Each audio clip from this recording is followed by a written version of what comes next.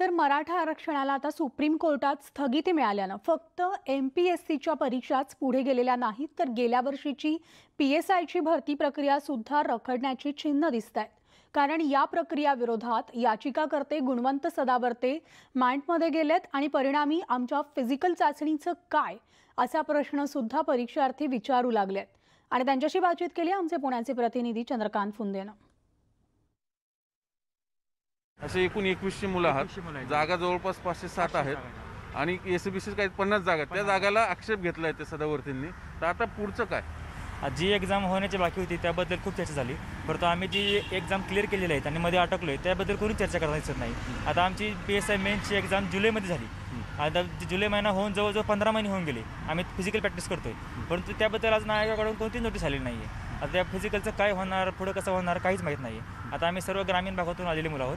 आता आता जर पुण्यात राहण्याचा प्रॅक्टिस करण्याचा खर्च जवळजवळ महिन्याला दहा ते पंधरा हजार रुपये आहे. एवढा खर्च करण्याची कॅपॅसिटी प्रत्येकाची नसते. मग आता या असं किती दिवस चालणार आणि किती दिवस आम्ही प्रॅक्टिस करणार याबद्दल कोणालाच काही माहीत नाही. त्यामुळे आम्हाला शासनाला एवढीच विनंती आहे की त्यांनी लवकरात लवकर फिजिकल टेस्ट घ्यावी.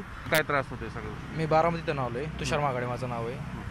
तर आम्ही जवळ चार ऑगस्टला मेन झाले आमचं. दुसरा पेपर झाला. तर जवळजवळ चौदा ते पंधरा महिने आम्ही फिजिकल करतोय.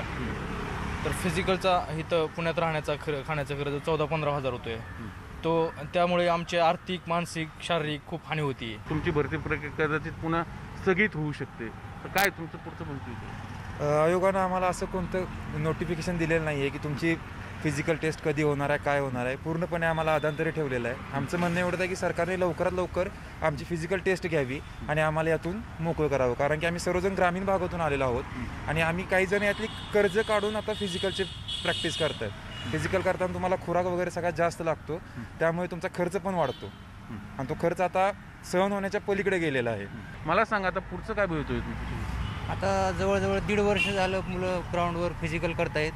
त्यांचा खर्च खूप मोठ्या प्रमाणात अ, येतोय. तो मुलांना परवडण्याजोगा नाही. आणि त्याच्या त्यात आता ही नवीन केस पडलेली आहे. त्यामुळे मुलांना खूप आता भीती वाटते किंवा काय अजून एक वर्ष लांबतो काय तो खर्च परवडणारा नाही.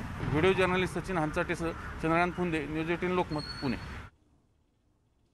आणि या सगळ्या घडामोडींचा बुलेटिनमध्ये इथेच थांबतोय. न्यूज एटीन लोकमतवर बातम्यांचा ओघ असा सुरू राहील. तेव्हा पाहत राहा न्यूज एटीन लोकमत.